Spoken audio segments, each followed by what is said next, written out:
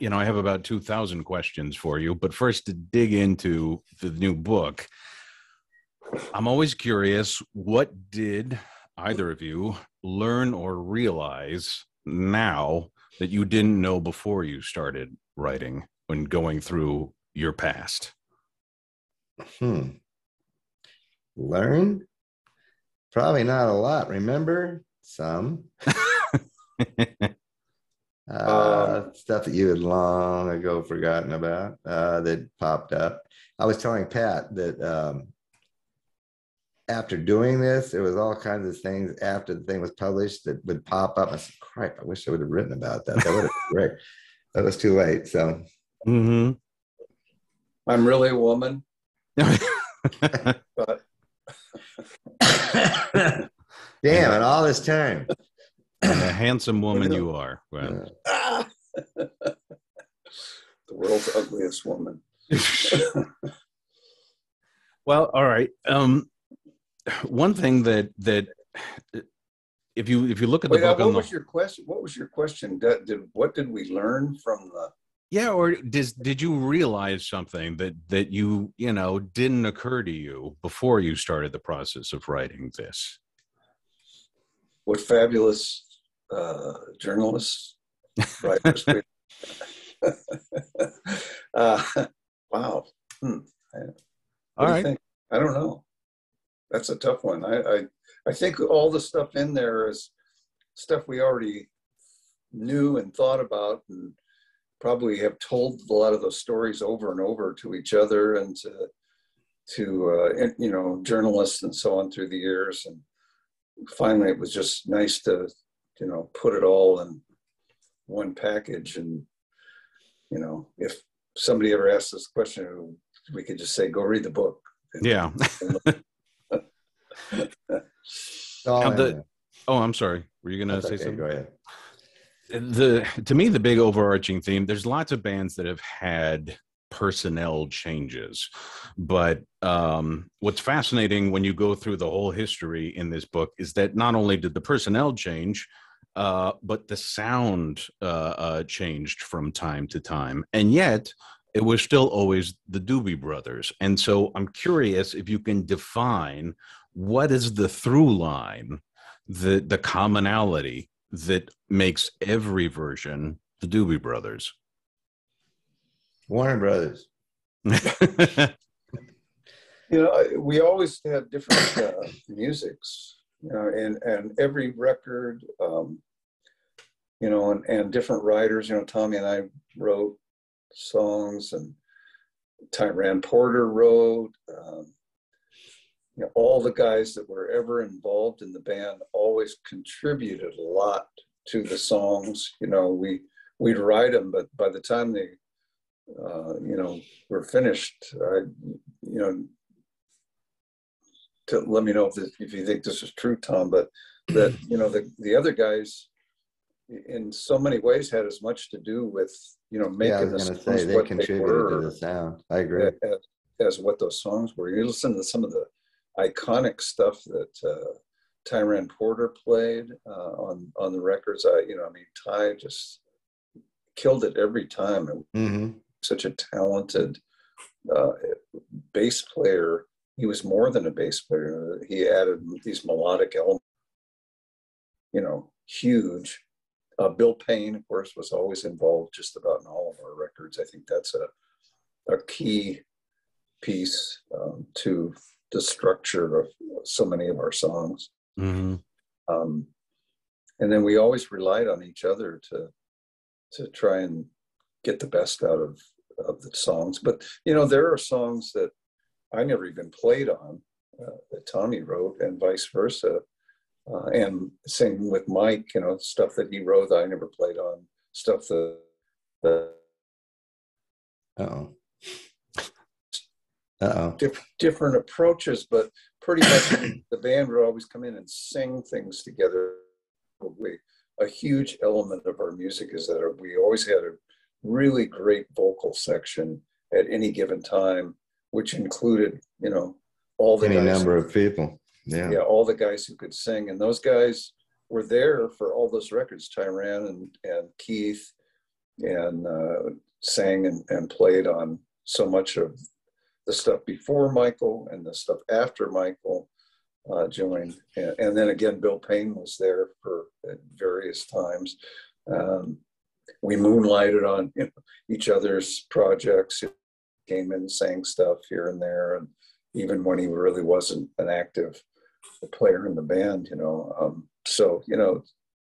Pat made a good point in that even from the very beginning, before we were even signed, uh, whoever wrote the song brought it in or into the basement in the very early days and played it for everybody and everybody would come up with ideas and it became Tiran as the go-to bass player after the initial bass player left but Tiran played bass like I'd never heard anybody play bass and that was a big deal he had his own way of playing and he played with a pick but you didn't sound like a pick and the melodic lines he would use were completely original. I'd never heard anybody play bass like that. But we always had vocal ideas together. Mm-hmm. Like he didn't walk down and say, "I want this guy to do this." It wasn't like that. It was like I hate to use this word, but it's a, it's like a family, you know, whatever of people that got together. Yeah. And say, oh, let's try this, and you know, each guy would have his place, whether it was high and low, where the harmonies went, and if I came down with a, an idea strumming wise, Pat would always have a picking idea. I would try to do strumming wise for his stuff. Mm. And so it was a group effort, even though, you know, so and so wrote it, but really he's Pat's right. It's it became kind of a in a sense a group effort. And then Ted Templeman would, you know, when we got to that point, which wasn't very much longer after that, um, add his ideas, which were always really good and help professionalize the sound of the band. Well, funnily enough, this this that does kind of dovetail into um, you know, you guys have influenced a number of other artists, and I was talking to a young up and coming musician you might know uh, named Huey Lewis, and uh, young and up and coming, yeah, yeah, he's he's a kid, but I think he's got some chops. Um, so I asked him, I said, "What what makes the Doobie Brothers, what makes the two of you so good. And he said they are a great band because, like all great bands, they are greater than the sum of their parts. He said not to denigrate their musicianship because they're all each great musicians, but they make each other better, which seems to uh, uh, back up exactly what you guys were just saying. Um, and then, but that makes me wonder: Can you see that in musicians um, as they're about, you know, as you're looking for new ones to join, or is it just kind of kismet? Is it fate? Seems kind of organic most of the time, to be honest with you. Um, when Keith passed away, which was a big deal for us, when Mike passed away, which is a big deal for us, those are two of the main drummers in the band, and John Hartman. Um, we actually did a tryout of drummers because it does make a big difference. Because Mike Hossack did a lot of our early, um, you know, studio work as far as the drummer used. Mm-hmm. And John played too. They, they both played, but uh, Mike was kind of the forefront drummer for a lot of the. I don't want to just say singles, but also for a lot of the uh, deep cuts. Yeah, he's a studio quality drummer. He was. And um, then Keith came along and he sort of took up the same position and he sang, which added another element. Yeah. And then, you know, you, you talked about uh, uh, unique style of, of, of playing, but also, uh, Tom, you wrote in the book, you said um, you you talked about my chunka chunka style of guitar playing, which I'm gonna find another term for that. Right. I think you should trademark really so you know uh, and uh, if nothing else i think the ben and jerry's people will get into that one um and but quit, you also they? they sold their stuff uh but you said it was it was me trying to cover both guitar and drum parts together backbeat style um number one it's interesting because it's very similar to a quote Dave Grohl had in an interview recently where he talked about he approaches guitar playing as from a drumming perspective. Um, but makes sense. Yeah. But what's interesting is so what what drove you to do that rather than think, all right, well, this is gonna the drummer will take care of the beat rather than, you know, rather than waiting for him, you said, I'll come up with it on my own and incorporate it into the guitar parts. Well, you're not, you know, it was not like I was actually playing a drum part, right? per se. Maybe from maybe listening to Bo Diddley long time ago that some of that mm-hmm. came from. But uh, if you're sitting in a bedroom on San Jose and you know way back when, or if you're sitting in a a pasture waiting for your girlfriend to get out of school and you're sitting there writing a song, um, and you've got an idea in mind of what it should feel like rhythmically, mm-hmm. you try to incorporate that in uh, the song as you're playing it. And the earliest version I can think of that is the first single we put out, which is Nobody. Not that there weren't other songs, but that's the first one that anybody heard. yeah. And then, you know, also with with a lot of these albums, and uh, especially with the new album Liberté, it's you know it's very much it's songwriting goes back and forth between the two of you. I'm curious how would you say you guys are different as songwriters? Well I, I think we both come from different musical backgrounds. That's the biggest difference right there. I mean we both enjoyed all kinds of music and still do. Um, and pat should cover his part of it not me. Um, I came from blues and rock and roll, rhythm and blues, a lot of that kind of stuff. Uh, but I also appreciated the kind of music that what's referred to as Americana, uh, and listened to it a lot in college. Mm-hmm. So, in essence, you're kind of the sum of all parts, as you spoke about. That all gets drifted into your songwriting as you go along. And if you listen to the early Doobie Brothers, let's say Toulouse Street and stuff, you start noticing things that that incorporate all those elements.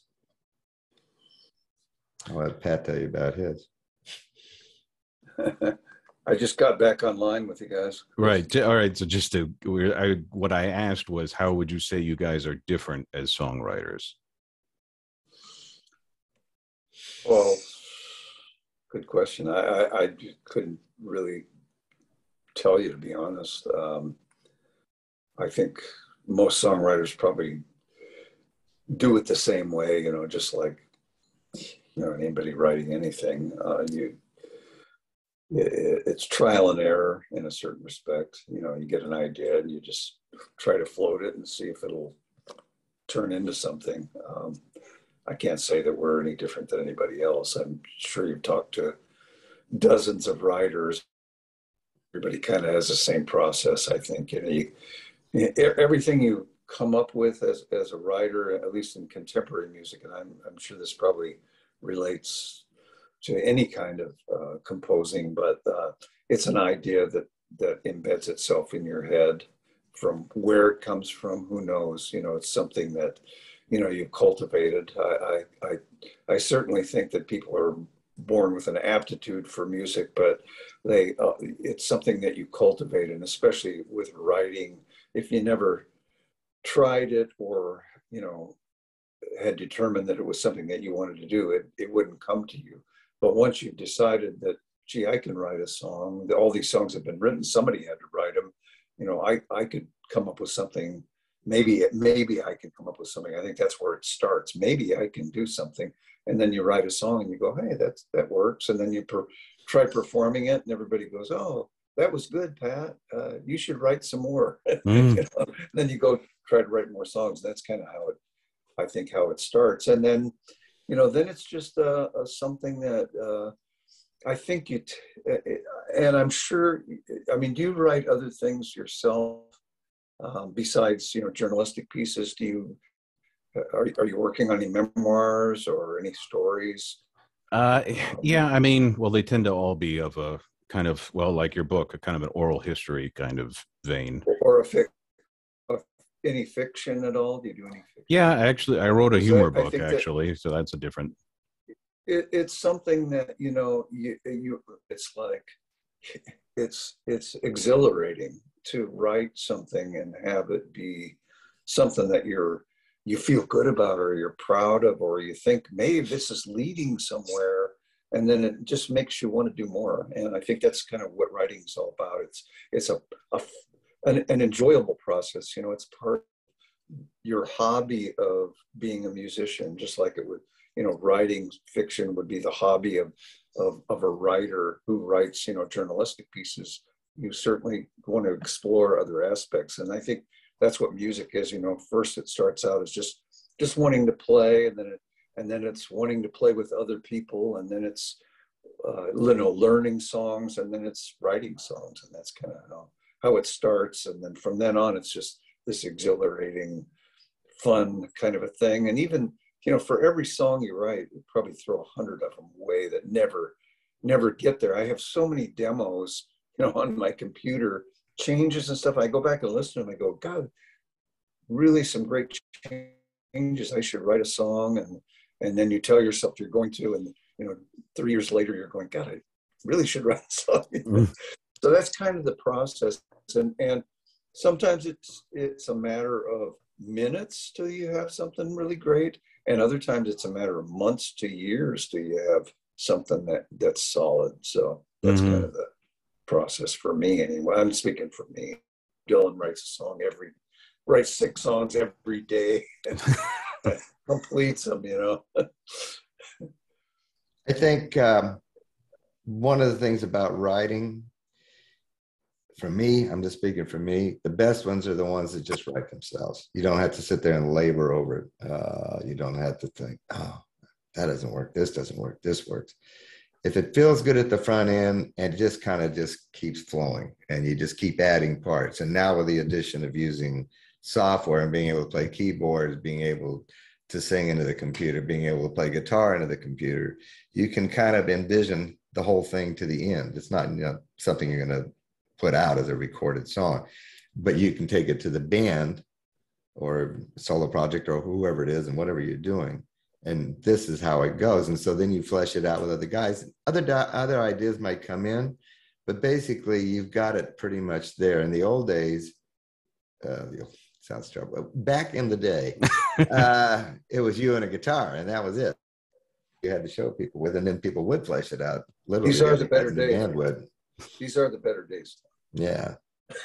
a little plug there. Yeah. Um, I think uh, as far as the latest album, you referenced that. That's I've written with other people before, but um, it's usually just sitting in a room somewhere, and that's it. Doesn't go any farther than that. And we write the song. It's you know it's recorded on you know some low rent version of recording. It's it's on a phone or whatever like that. Yeah. This was done every song was co-written, every single one. Uh, I had never met John Shanks before this project, and uh, you go in there and you sit down and you do the music first, which is the way I always do it anyway. I always write the music first; words always come later. Hmm. Um, and we get an idea going, a start as they're called, and then you he said, okay, let's do the lyrics. And I was go, wow, bang, just like that. So we'd start knocking the lyrics around. He'd have an idea, I'd have an idea.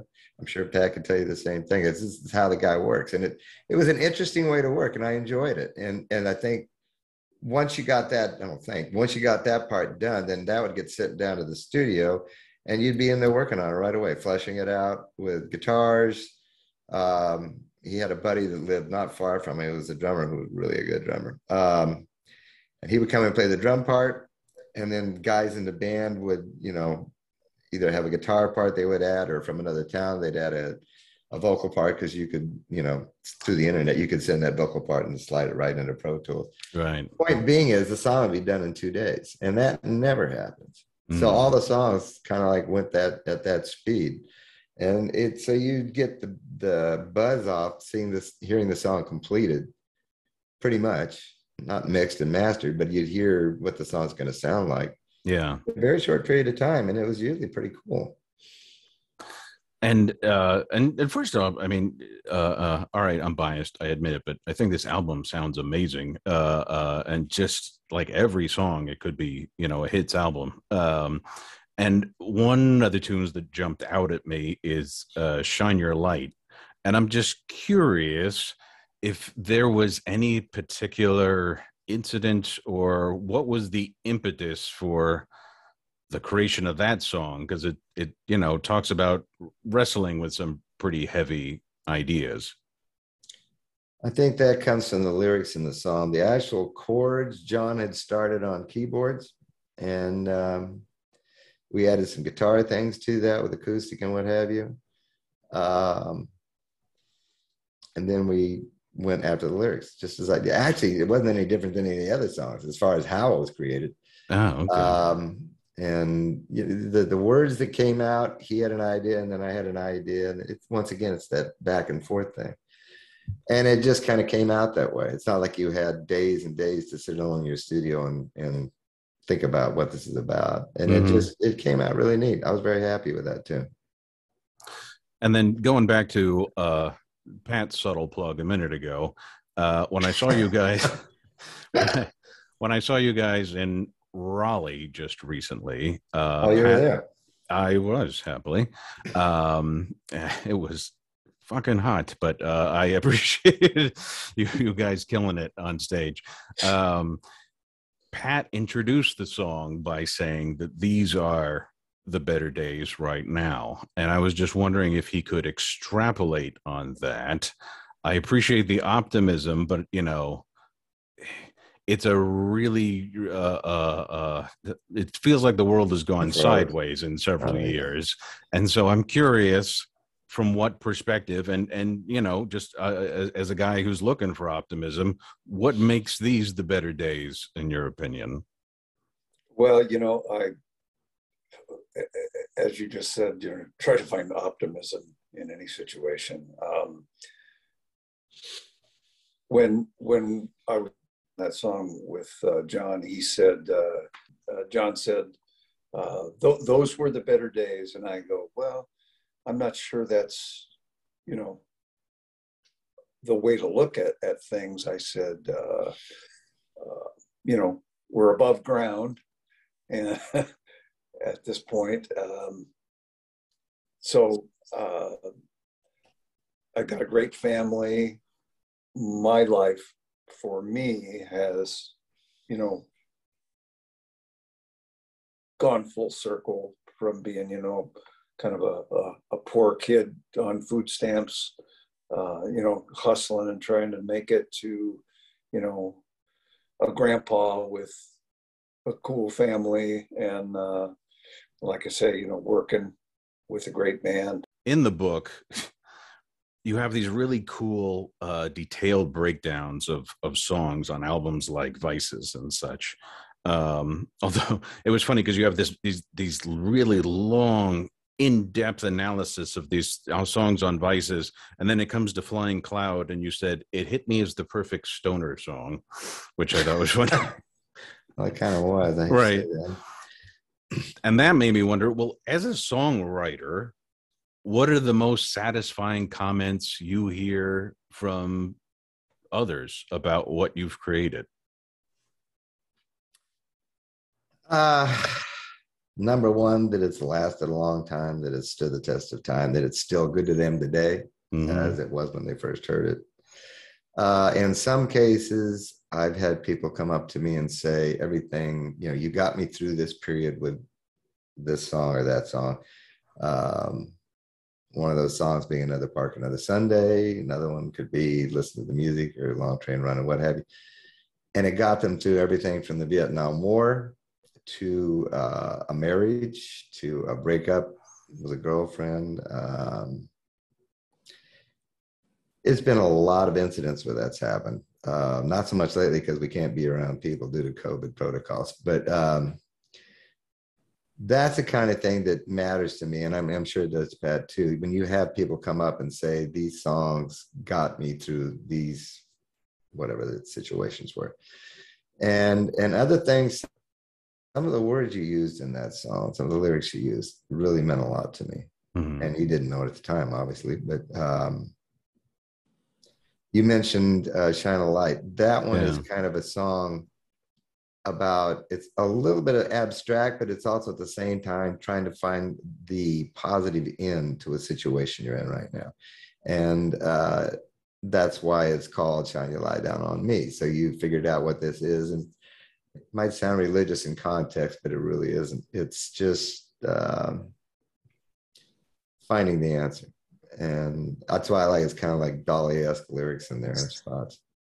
One thing, another thing I did not know about you guys that I got from reading this book was the influence on you from Marc Bolan and the band T Rex.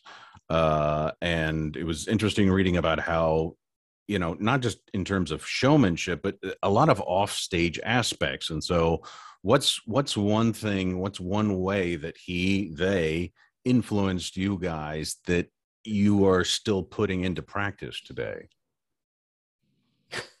today, probably yes. none of it. Uh, what was going on then is not going on now. Uh, nobody's walking around in high heeled and platform boots, and crazy clothes, and uh, the partying thing is kind of in the rearview mirror. but uh, at that time, it was eye opening. We hadn't really examined that style of showmanship uh, at all. Uh, mm. It hadn't occurred to us. We're a little more earthy, I guess. And he was English as well. And I think that probably helped him get where he was as far as what he liked to do. But he was an interesting guy uh, to talk to. And as you read in the book, there was lots of incidences where, you know, he'd have a end of tour party and in some place like the Riot House, also known as the Hyatt Continental, uh, which was infamous back in those days. Um, mm. But it fun tour. You know, every night you'd go out and you'd watch his set, and and then he'd come tell us what he thought of our set or whatever. And uh, we have got to know the guys in his band as well as we got to know him, and uh, it was fun. Something you know, brand new for us. I think uh, he uh, reinforced the idea that famous people who were popular could could you know maintain a, a, a, uh, a generous attitude. And that's something that I really, I've carried with me. I've met a, a lot of musicians through the years, and I would say, you know, 99% of them are just regular folks, just like you and me, and uh, nice, nice people. And uh, like I say, having that generous attitude and, and giving and, and, uh, it, try, trying to encourage others who are trying to do the same thing that that that brought them to that to that level. And uh, you know he was one of those kind of people. And that to me that has guys like that uh, influenced me to uh, hold on to that ethic you know that uh, you know just you know you're going to meet the same it's been said it's a cliche but uh, you meet the same people uh, on the way down that, that meant on the way up. So you've got to remember that, and, and that could be uh, a truism because you know, I mean, this is, uh, you know, you won't be here forever doing what you're doing, and there's going to be other people, and they are already a lot of other great uh, musicians, but you always want to, you know, convey that that generosity that was shown to you uh, early on. So that's that's something he he reinforced for me. Let's say. Yeah, and you guys have always had that rep, and and but you know not everyone does because I've spoken to enough musicians who have been opening acts where the the writer for the opening act means you get a Dixie cup and a 20 watt bulb for your set, and uh, whereas um, that's what um, keeps you going. Man. Yeah, but you know, I mean, because the flip side of that, uh, um, he's a client, so I've talked to him a number of times. Uh, you know, Huey Lewis claims that when they opened for you guys, they were booed every single night, um, but that you guys were wonderfully supportive uh, uh of them, and you know, uh, credits you guys with with really giving him a, a, a leg up and such. And you know so i'm wondering what what did you see in them that you knew you know would be great that you you know uh uh backed them? I'm not sure i was around for this period. Well, uh, what year is this you're talking was, about? yeah it was later on. Yeah.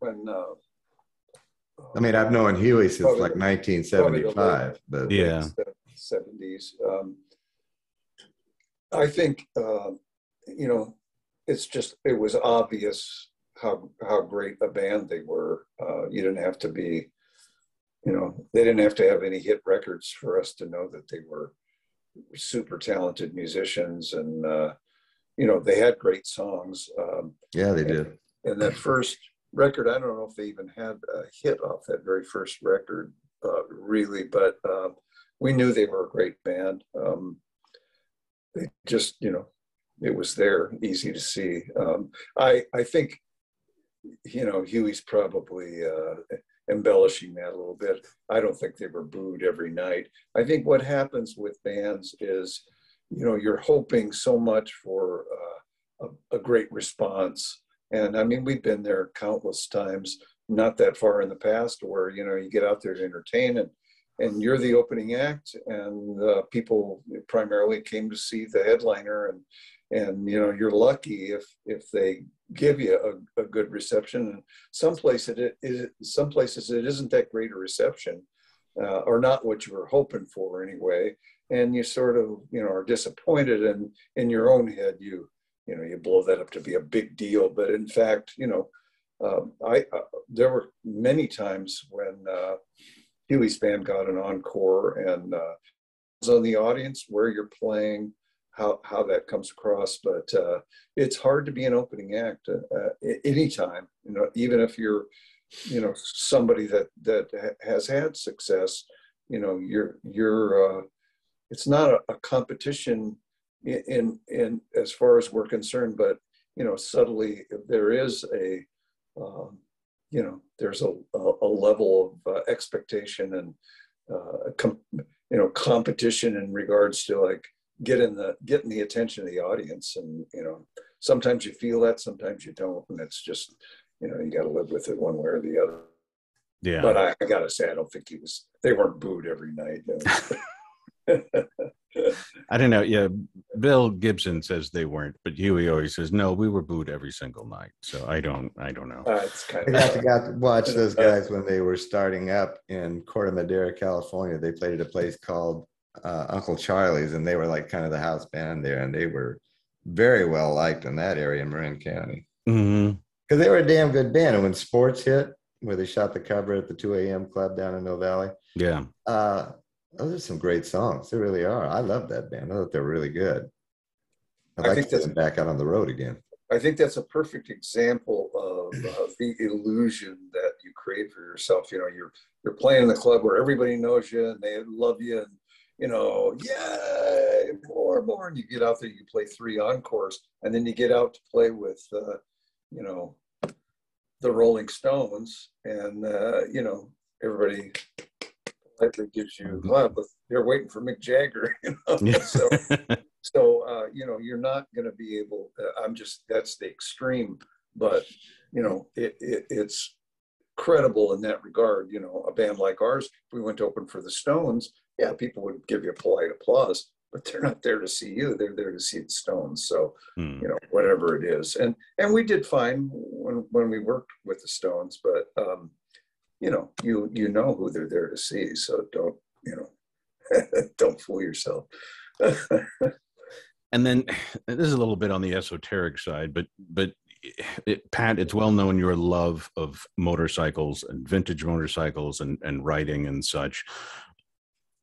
Is there is there something similar to the feeling of riding a motorcycle through the countryside is there a similar feeling to that that you get to playing a song? Uh, everybody asks me. I don't think so. Um, mm. You know, they're two separate things. Um, you can say, you know, the freedom that gives you, or the, you know, the whatever, you know, the enjoyment. Um, certainly, they're they're both enjoyable, but they're two different things. And you know, for me, the old bikes are kind of an extension of you know my fascination with old stuff. You know, all my life I've been collecting old old stuff. Uh, horrible collector. You know, I'm going to be uh, this weird old man. I'm already a weird old man. you know, uh, got a whole bunch of old stuff and the old bikes. Uh, you know, just you know, it's, it's an ex eccentricity that uh, you know I've had since I was much younger uh, I just like the bikes. You know, it started really with with the when the band first started playing is when I think I really started jonesing for a motorcycle. We'd play these clubs and the guys would pull up in these incredible bikes. And then my girlfriend's brother was, uh, had an old knucklehead and I loved that. And, you know, I had friends that had bikes and uh, ended up getting a little BSA that I rode around for a while. And I just, it, you know, I was, I just went over the top and into it. And I, here I am, I'm stuck forever in motorcycle land. So, you know, that's just, you know, that's where I am. And then uh, uh, a couple of final notes. Number one, I've read and heard many an interesting rock and roll band story. One of the more unique I've ever come across is in this book where you traded a guitar pick for a policeman's badge in Moscow. Um, have you ever tried to do that with an American policeman? No, no, exactly what you're talking about. when we were over in Moscow, which was a fluke, anyways, uh, Bill Graham asked us to play over there for uh, the Soviet American Peace Walk. Right. Uh, and there was a slew of bands. It wasn't just us. Um, Carlos was over there. Bonnie Raitt was over, was over there, and um, and as well as a, a, Russian rock and roll band, which kind of blew me away. I wasn't aware that they had that, and they were pretty good. The name was Autograph. Mm-hmm. Um, but we also spent some time wandering around Red Square, and at that time, um, Glasnost was breaking out, if you will, and they were all about anything American. I mean, they wanted your boots, your jeans, or whatever, and I said, "Well, I'm not giving that up, but." I will give you a guitar pick for a uh, a policeman's badge, which I still have. As a matter of fact, this is you know in Red Square in Moscow, and yeah. uh, they're coming for you. Quite an adventure. it was it was it was a fun thing to do, just to wander around there and see that place after all the years you've been seeing pictures of it on the news, usually in black and white, and also with a wide angle lens. And you got there, and it looked totally different but it was a, an experience to play that show because it was huge. It was in this big soccer stadium. Mm-hmm. And all these people had walked from St. Petersburg to Moscow together, both American and Soviet.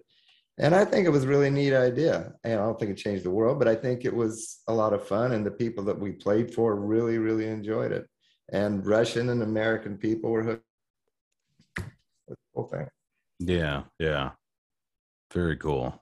So here's a great uh, a little aside to that. Uh, walking around Red Square and a bunch of Bill Graham's uh, people come up to us, you know, the people that were, uh, you know, helping to manage the tour and everything, and they go, "Hey, you guys want to take some acid with us? We're all high." I go, "What?" You know, we're in Red Square and blazing on acid. I go, "I don't think I'm." Re- ready for that in Moscow. Thanks. so we had some, right. There was a lot of fun. We had fun on that uh, excursion. yeah, wake up in Siberia shackled to another man. Yeah, you know, yeah. A, uh, the KGB guy. Right. yeah, no, my favorite. My favorite story along, uh, kind of along those lines. Do you remember a DJ named Dusty Street? Yeah, absolutely. San Francisco. Yeah. Uh, uh, she's a friend of mine. And um, she talks about there was a band, you know, many years ago called Dr. Hook and the Medicine Show. And uh, with them. They they apparently played Disneyland one time, and she said a friend of hers was their roadie, and they did sound check guys went off to ride rides and stuff, and this roadie and another guy lit up a joint. And they're sitting there smoking, and then suddenly Mickey Mouse comes walking up to them and says, You're not allowed to do that. You have to come with me to security. And so the guy looks up at the mouse, and then he looks back at his friend, and he says, This is some good shit.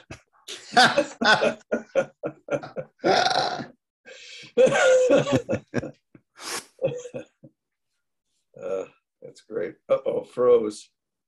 I'm out again.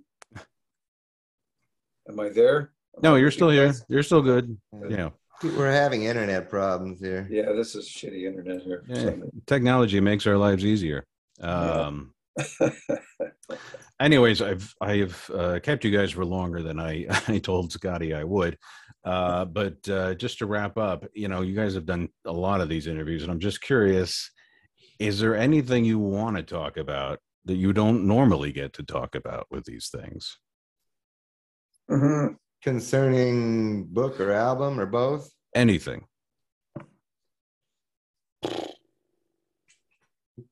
We've covered a lot of stuff. I I don't have anything surging here that I that I would bring up. I mean, I'm happy that we have the book out. That's the first time we've ever done anything like that, undertaken that kind of a a chance, if you will. Uh, mm-hmm. Uh, never would have thought of it had we not been asked by Chris to do it. Um, as far as the new album, as I said, it was an experiment that I really enjoyed. It was a lot of fun trying that that way. That was something we'd never done, and and I like doing that because it's not rubber stamping everything you've always done. So here's what they sound like, and here's what they're going to sound like again. Here's what they're going to sound like again. It's always going to be similar. Although our last album wasn't like that. World Gone Crazy was a little different too. But uh, this mm-hmm. one was quite a step away from everything we've done in the past. I thought that was cool. Yeah, and yet it still sounds like you. I think John is a very sharp producer. I think he was aiming to have it still be recognizable as the band, but yet step out of the normal that we're we find ourselves in, whether we mean to or not, when we do an album. Yeah. And then Pat, is there anything you've wanted to talk about that no one asks you about regarding music or the book or anything? Can't think of nothing. I'm just uh yeah, I'm here. I'm I'm you know, I appreciate that you're taking the time with us and uh, giving us the opportunity. Um, you know, we're still just out here having fun. It's uh, we're going to go. I'll say we're uh, looking past. We're, I mean, we're gonna. We have uh, this leg, which goes until around the end of July, and then we're coming back in uh, September and uh, for another month and a half or so. Uh, and then next year, we're talking about maybe going overseas to play in uh, Australia, New Zealand, Japan. Oh wow! Maybe some parts of uh, Asia, other parts of Asia. Uh, hopefully, getting to Europe. That's something we haven't been over to Europe for quite a while, so that's something we're looking forward to as well. And then we've never been to South America, so that's po- a possibility for us as well. So um, we just this is a as the band goes along this incarnation, present incarnation, we're going to go on and uh, play, you know, next year as well with uh, Michael included and uh, with all the rest of the guys that uh, uh, we're doing this with now. And um, so we're kind of excited about the prospect playing some other marketplaces as well with this band. So it's going to be going to be fun. Cool, cool. And uh, I want to say thanks to John McFee for for setting this up. And again, thank you for you guys making the time. I appreciate it. And uh, thank you for having us. We yeah, my pleasure. And uh, this will eventually be out video, text, audio, the whole thing. And I will let your people know when it happens. Cool. Very good. See you, see you down the road. I hope to. Yes. All right. All right thanks, Cris. For, All right, thanks, thanks, for coming to the show, by the way, Cris. Oh, I loved it. Yeah, we appreciate that. It was it was great. It was great. I loved it. I you have a much better idea of what's going on right now than most people when you got to actually watch it in real time. Watch the show in real time. The one in Raleigh, I think you said you went to. Yeah, yeah.